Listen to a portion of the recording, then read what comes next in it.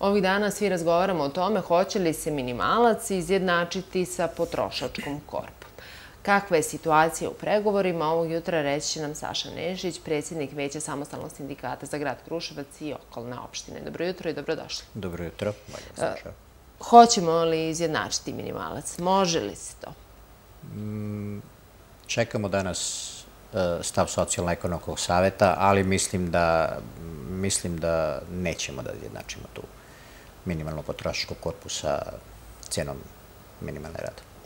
E, šta je ono što je sindikat tražio u ovim pregovorima i e, kako zapravo, šta je ono što oni nude? Pa vidite, ako sindikat je još marta meseca, znači ove godine, krenuo u pokušaj nekih pregovora da e, u toku godine izmenimo tu cenu minimalca koja je 40.000 dinara trenutno. Međutim, nismo naišli na, na razumevanje iz više nekih razloga, zbog Unije poslodavaca, najviše zbog Unije poslodavaca. Oni, oni, oni definitivno imaju problem sa uvek sa tim povećanjem uh, cene rada. Međutim, njima je država uvek izlazila u susret sa smanjenjem tog nekog neoporezivog dela, kao što je i ove godine predlog da se sa 21.000 neoporezivog poveća na 25 neoporezivog.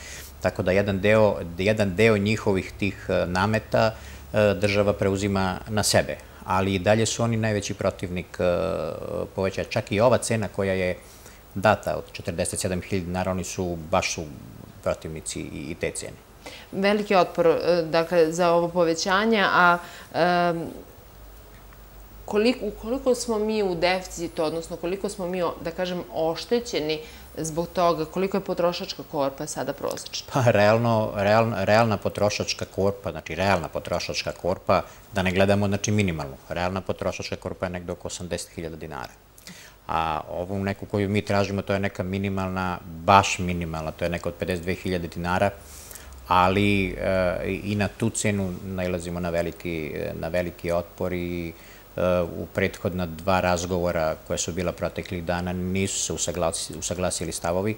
Danas očekujemo taj socijalno-ekonomski savet u kome predsedava sindikat.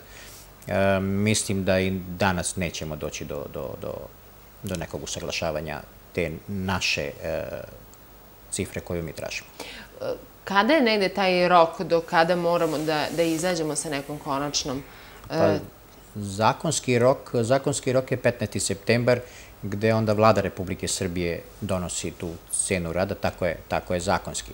Mi smo pokušavali da, da taj zakon izmenimo, da bude e, dva puta u toku godine e, u proteklih e, par godina, gde, je baš onako, gde su baš onako cene skakale u nekim nenormalnim procentima, gde su se kretali preko 100% povećanja nekih proizvoda, osnovnih proizvoda.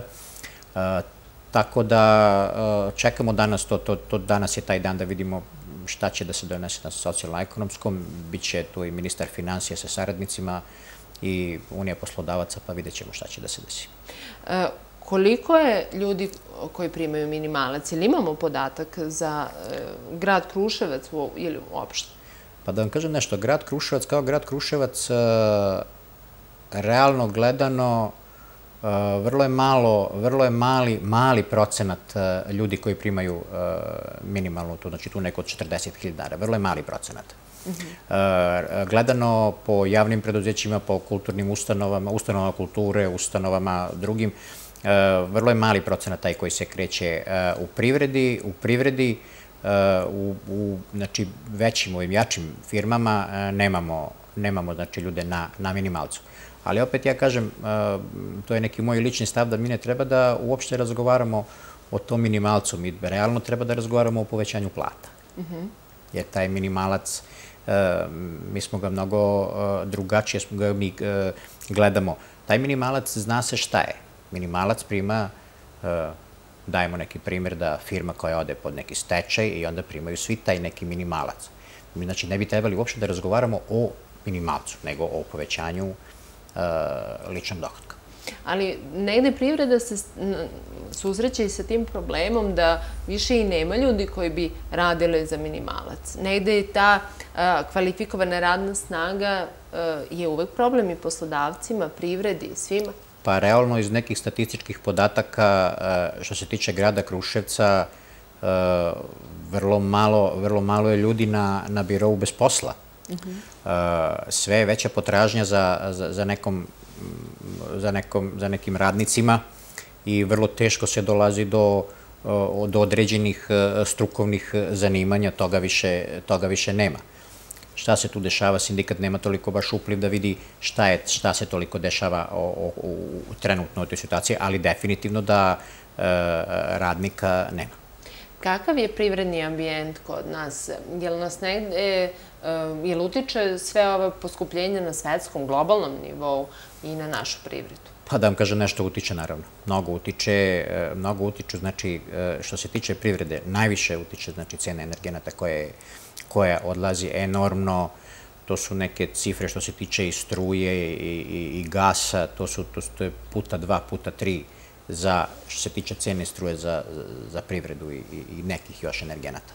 Je li imamo negde nekih naznaka da će se to stabilizovati u nekom momentu? Mislim na globalnom nivou, jer svi su u problemu. Pa da vam kažem nešto, stručna služba sindikata je radila neku studiju i e, otprilike, otprilike bi to bilo, znači, e, neki treći ili četvrti kvartal 2024. godine kad bi trebalo da počne da i inflacija da pada, tako da se otprilike da bude ispod e, dve cifre, znači inflacija da bude do kraja 24. godine. I evo da se vratimo na ovu temu, ovaj, e, danas je taj sastanak socijalno-ekonomskog saveta, nakon njega kakve, kakvi su planovi do tog 15. septembra? Pa da vam kažem nešto, e, stav sindikata, stav sindikata je i u ova dva sastanka je bio da, da mi uopšte nismo zadovoljni tim, tom cenom koje, koja je ponuđena. Mislim da tu neće imati nešto ni više prostora, da, jer Unija poslodavaca se i za tih 17,5% povećanja baš su se, znači, e, mnogo su se, znači, bunili.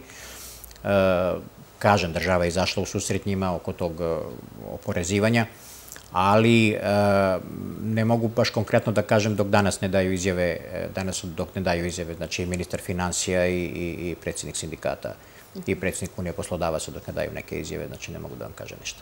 A je li imamo mi prostora nakon to 15. septembra da ponovo otpočnemo pregovore za neko povećanje u narednoj godini? Zakonski, zakonski prostora nemamo, zakonski prostora nemamo. Sindikat će i dalje znači, tražiti, e, vršiti pritisak da se, da se što pre ponovo poveća ta cena, minimalna cena rada.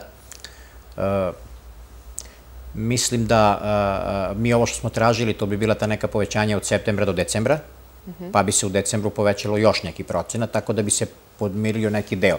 Ali tu je i taj problem u ta, u ta tri meseca. Tu su izmene planova poslovanja, tu su neki rebalansi, to su ogroman je to, ogroman je to posao da bi se to odradilo sad za sad.